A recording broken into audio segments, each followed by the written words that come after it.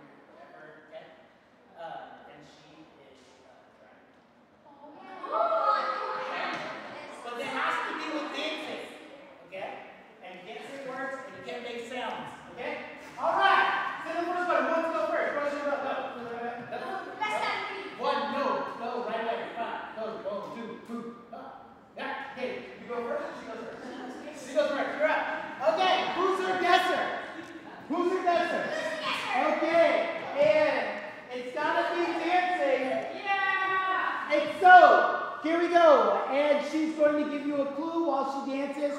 Everybody, let's give her a beat.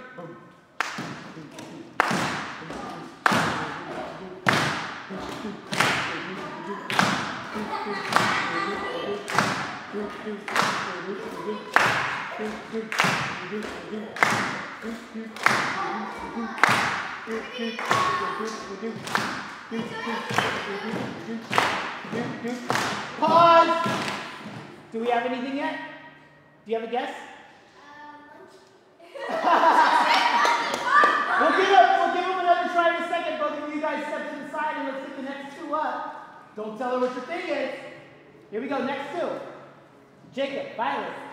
Jacob is going to give the clue to Violet. Here we go. Violet's going to be guessing, and let's give him a beat.